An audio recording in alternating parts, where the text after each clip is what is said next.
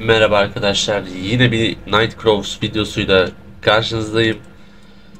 Ee, başarısız bir Guild Dungeon'dan sonra bir kutu kırma videosu yapmak istedim.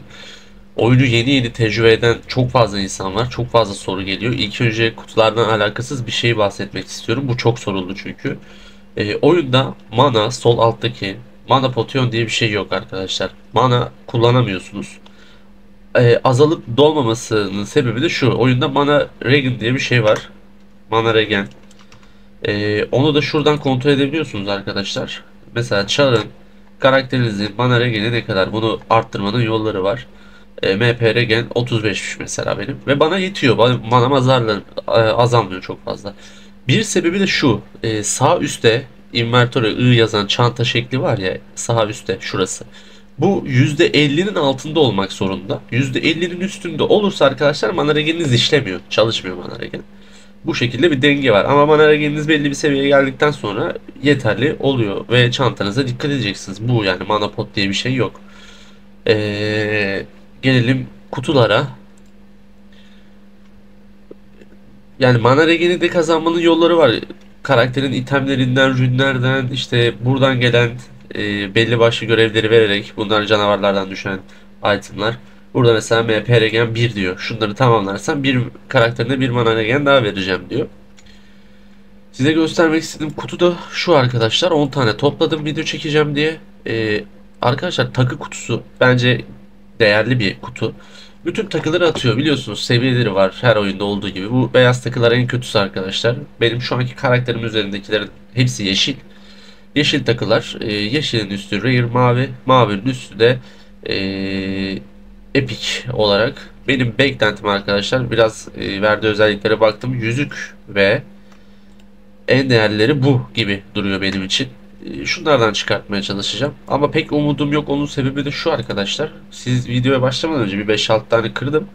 Sabah denemek için. Yani 5 tane beyaz takı atmış çok değerli bir şey atmadı. Bu kutuları nasıl elde edebiliyorsunuz arkadaşlar? Şuradan öncelikle bir guild'e üye olmanız gerekiyor. Bir guild'iniz olması gerekiyor.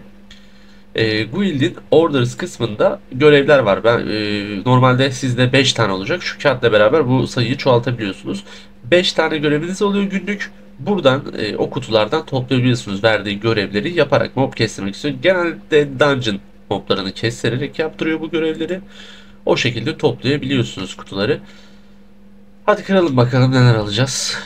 Normalde hepsini toplu kırarım ama tek tek kıracağım arkadaşlar. Madem videodayız biraz heyecan olsun. Bir tane kırıyoruz arkadaşlar. Dediğim gibi epik yüzük ve belt bekliyoruz ama bu işte en kötüsünü attı. Bu belt değil. Bu belti beklemiyordum. Bir tane daha kırıyoruz. Tekrardan kötü bir takı attı. Oran çok düşük demek yani yeşil bile alamıyorsak Yeşil aldık. Güzel. Neymiş bu? Ee, Bond. Bond dediğinde arkadaşlar markette exchange'de satamıyorsunuz. Ee, Mere Damage ve AC2. Benimki artı 4'te e, upgradelemeye değer mi? Yok benimki Ranger Damage. Neyse bulunsun dursun sıkıntı yok. Devam ediyoruz arkadaşlar kutu kırmaya. Yine kötü bir yüzük aldık. Kötü bir belt daha aldık. Max 50. Son 4 kutumuz arkadaşlar. Yine başladım hızlı hızlı kırmaya. Ee, biliyorsunuz önceden Rise Online'da çok fazla kutu kırma vesaire videoları yapıyordum. Burada da yine dayanamayıp kutu kırma videoları yapıyoruz. Evet kötü bir pendant daha aldık.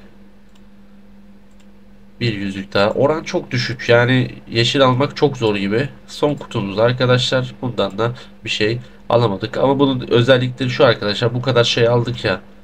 Ee, bunlar muhtemelen artılandıktan sonra şuraya kollekte atabileceğiz arkadaşlar. Mesela bak attığı pendantı buraya koyabiliyormuşuz.